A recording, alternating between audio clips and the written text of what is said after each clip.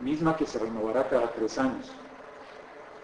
Tercera, de conformidad con lo previsto en los artículos 114, fracciones primera y decimoprimera de la Constitución Política del Estado de San Luis Potosí, en relación con los numerales 13, 15 y 16 de la Ley Orgánica del Municipio Libre, los ayuntamientos son electos cada tres años, cuyos miembros deberán de cumplir los requisitos de elegibilidad a que refieren los arábigos 117 y 118 de la Constitución Particular del Estado, en concordancia con el numeral 15 de la referida Ley Orgánica.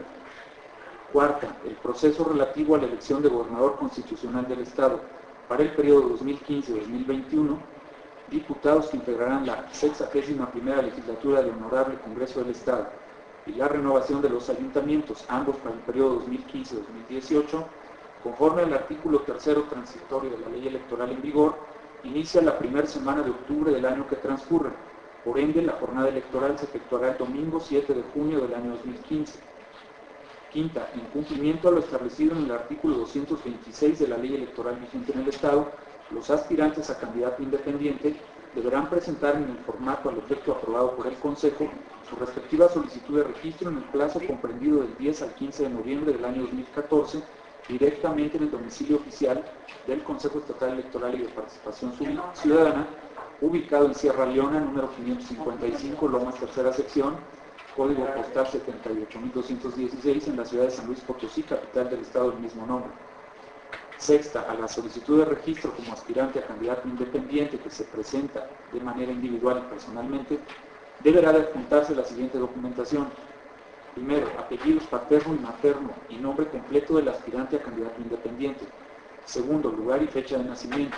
Tercero, domicilio particular y antigüedad de su residencia o vecindad en el municipio o distrito que le corresponda. Cuarto, domicilio y personas autorizadas para oír y recibir notificaciones, mismo que deberá ubicarse en la capital del Estado. Quinto, ocupación. Sexto, manifestación de no contar con antecedentes penales. Séptimo, la designación de un representante ante el Consejo para oír y recibir notificaciones, debiendo señalar su nombre completo y apellidos. Octavo, la designación de un responsable del registro, administración y gasto de los recursos a utilizar en la obtención del respaldo ciudadano, debiendo señalar su nombre completo y apellidos. Noveno, la identificación de los colores y en su caso emblema que pretende utilizar en la propaganda para obtener el respaldo ciudadano, los cuales no podrán ser iguales o semejantes a los utilizados por los partidos políticos con registro o inscripción ante el Consejo. Si dos o más aspirantes coinciden en estos elementos, prevalecerá el que haya sido presentado en primer término, debiendo el resto modificar su propuesta. Para los efectos de esta fracción no se podrán utilizar los colores institucionales del Consejo ni los que éste apruebe para la impresión de las boletas electorales. Y décimo, firma autógrafa del ciudadano solicitante o en su caso huella dactilar. 3.4 de la documentación que deberá acompañarse a la solicitud de registro al proceso de selección de aspirantes. A la solicitud de registro deberá juntarse la siguiente documentación por cada aspirante a candidato independiente. Primero, copia certificada del acta de nacimiento. Segundo, copia fotostática por ambos lados de la credencial para votar con fotografía vigente. Tercero, constancia de domicilio y antigüedad de su residencia efectiva e ininterrumpida por el tiempo que establezca la Constitución en cada caso, según lo siguiente. Inciso A. Aspirantes a candidato independiente a gobernador del Estado, de conformidad con el artículo 73 de la Constitución, si se tiene la calidad de potosino por nacimiento, contar con una residencia efectiva en el Estado no menor de un año inmediato anterior al día de la elección. Y si se trata de potosino por vecindad, la residencia efectiva inmediata anterior al día de la elección deberá ser no menor de tres años contados a partir de la adquisición de la calidad de vecino. Inciso B. Aspirantes a candidato independiente a diputado de mayoría relativa de conformidad con el artículo 46 de la Constitución, si se tiene la calidad de potosino por nacimiento, contar con una residencia efectiva en el Estado no menor de seis meses inmediatos anteriores al día de la elección, y si se trata de potosino por vecindad, la residencia efectiva inmediata anterior al día de la elección deberá ser no menor de tres años contados a partir de la adquisición de la calidad de vecino. Inciso C. Aspirantes a candidato independiente a presidente municipal. De conformidad con el artículo 117 de la Constitución, ser originario del municipio, con un año, por lo menos, de residencia efectiva en el mismo, inmediata anterior a la fecha de la elección, o ser vecino del mismo con residencia efectiva de dos años inmediata anterior al día de la elección. La constancia de domicilio y antigüedad de residencia deberá ser expedida por el secretario del ayuntamiento que corresponda o en su defecto por secretario público. Cuarto, constancia de no antecedentes penales expedida por el Departamento de Criminalística y de Archivos Periciales del Estado o en su caso por el director del Centro de Readaptación Social del Distrito Judicial que corresponda. Quinto, manifestación por escrito bajo protesta de decir verdad de que cumple con los requisitos señalados por la Constitución Política del Estado para el cargo de elección popular de que se trate, así como los dispuestos por la ley electoral. Sexto, la documentación que acredite la creación de la persona moral constituida en asociación civil bajo el modelo único que para tal efecto emitió el Pleno del Consejo. Séptimo, datos de la cuenta bancaria aperturada en nombre de la persona moral para recibir el financiamiento privado correspondiente que se utilizará durante la etapa de obtención de respaldo ciudadano. Octavo, el programa de trabajo que promoverá en el ejercicio del cargo público que corresponda en caso de ser registrado como candidato independiente. Y noveno, disco compacto que contenga el archivo relativo a la identificación de los colores y o emblema que pretende utilizar el aspirante en la propaganda para obtener el respaldo ciudadano. Finalmente, eh, un párrafo que se considera pudiera eh, resolver alguna duda a los candidatos independientes y que si me lo permiten se le agregó para mayor claridad un párrafo final que dice en el concepto de que en el domicilio oficial del consejo en el concepto de que en el domicilio oficial del consejo está a disposición de los aspirantes a candidato independiente la certificación relativa al listado nominal de electores con corte al mes de septiembre del año 2014 a nivel Estado, Distrito Electoral Local o municipio, según la elección de que se trata. San Luis Potosí, San Luis Potosí, a 8 de octubre del año 2014, a la consideración de los integrantes de este plan. ¿Hay alguna intervención? Se concede la palabra al señor, señor representante del Partido Moreno. Bueno, bueno, gracias. Eh, viendo estos requisitos que están planteados aquí en esta convocatoria, la discusión ahorita, eh, puse a pensar, es, es posible que muchísimos ciudadanos potosinos o avecindados en nuestro estado, de acuerdo a los términos de ley, cumplan con estos requisitos.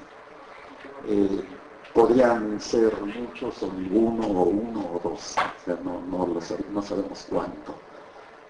Pero no sé, este, yo sí quisiera preguntar a los que saben de leyes, las personas, eh, yo respeto mucho que estudiaron leyes, porque saben muchas cosas que yo ignoro, a ver cómo está el asunto.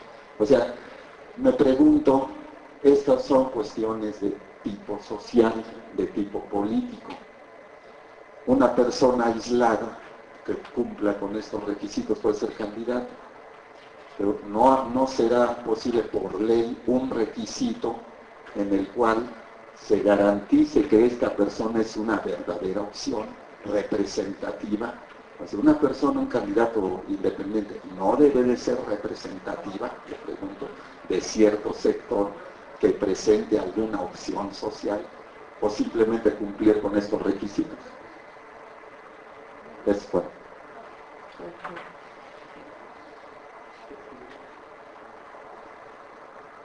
fuerte. Se concede la voz al representante del Partido Encuentro Social. Gracias, señora presidenta. Eh, esa es la convocatoria que nos señala el artículo 226.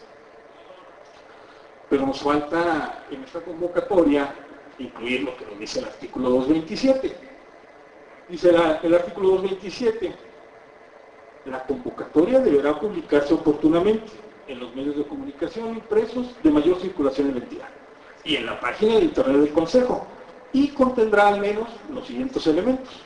El órgano que lo expide, aquí dice.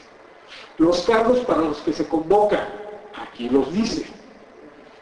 Tercero, los requisitos para que los ciudadanos emitan los respaldos a favor de los aspirantes, que en ningún caso excederán a los previstos de esta ley, no lo dice.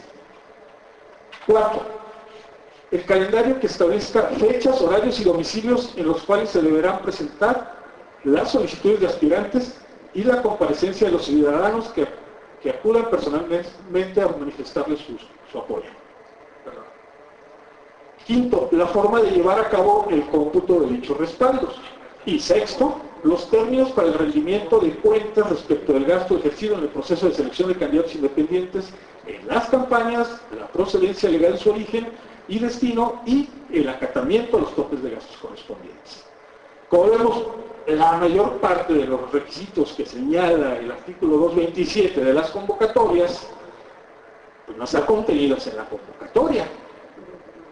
No sé si hay alguna otra interpretación legal del artículo, eh, pero creo, a mi entender, muy, corto entender, es que no están contenidos todos los requisitos. Por ejemplo, el uno básico nos señala que del 10 al 15 de noviembre, en este domicilio de Sierra Leona 555, se va a llevar a cabo eh, directamente en este domicilio la respectiva solicitud de registro. ¿En qué horario? ¿A qué horas? En periodo electoral todos los días y horas son hábiles. Díganme, ¿a qué hora? Hora de oficina, vamos a ampliar el horario, nada más de, o sea, nos falta en el contenido. Eh, ¿Cómo se va eh, a llevar a cabo el cómputo de los respaldos ciudadanos? Tampoco lo dice. El ciudadano que quiera ser candidato independiente en el municipio de San Antonio, ¿a dónde va a llevar a sus apoyantes? Aquí no lo dice. ¿En qué fechas? ¿A partir de qué momento? ¿En qué horarios?